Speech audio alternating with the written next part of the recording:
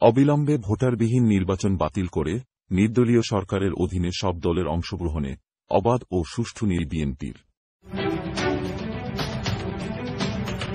নতুন নতুন আপডেট সংবাদ পেতে এখনই সাবস্ক্রাইব করুন। দেখছেন চেতনা টিভি। বিএনপি দেশের জনগণের কাছে প্রতিজ্ঞাবদ্ধ।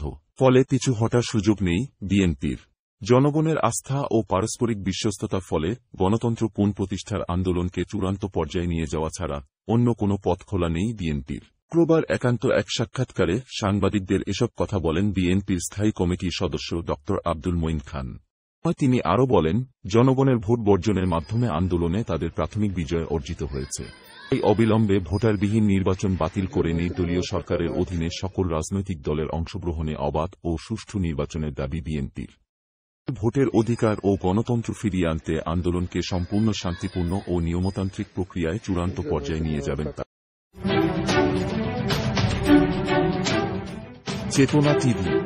স্বাধীনতার চেতনায় চির উজ্জ্বল। আমাদের সঙ্গেই থাকুন।